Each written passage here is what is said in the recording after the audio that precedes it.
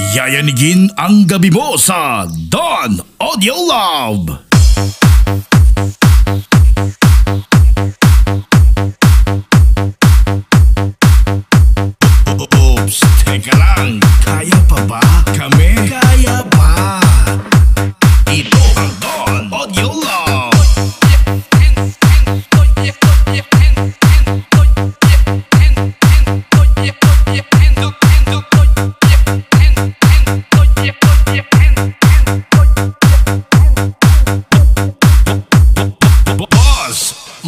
boy.